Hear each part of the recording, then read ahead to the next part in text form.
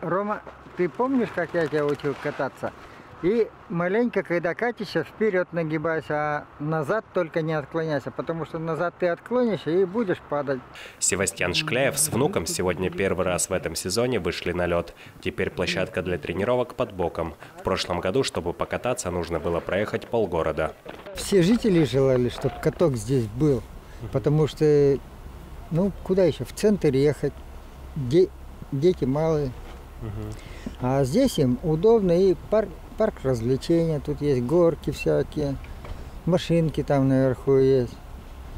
И вообще тут весело стало, хорошо облагородили. Этот каток делают впервые по просьбе местных жителей. Из-за снегопада процесс затянулся, но уже скоро объект будет готов. Рядом строят раздевалку и прокат коньков. Но у некоторых жителей возник вопрос, насколько здесь будет безопасно. Рядом открытая вода. Ситуация на контроле спасателей.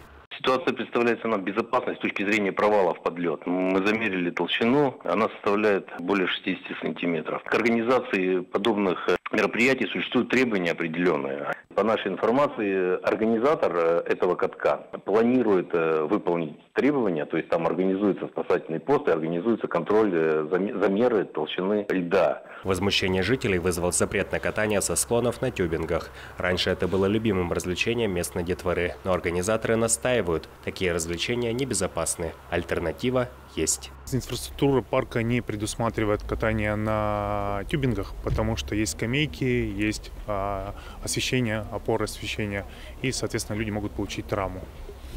Есть а, в парке для этого всесезонная металлическая горка и горка для тюбингов. Открыть каток планируют на следующей неделе. Вход бесплатный. Работать площадка будет с утра до 10 часов вечера. Александр Демидов, Василий Хохряков. Новости. Закатать в лед. Закатать лед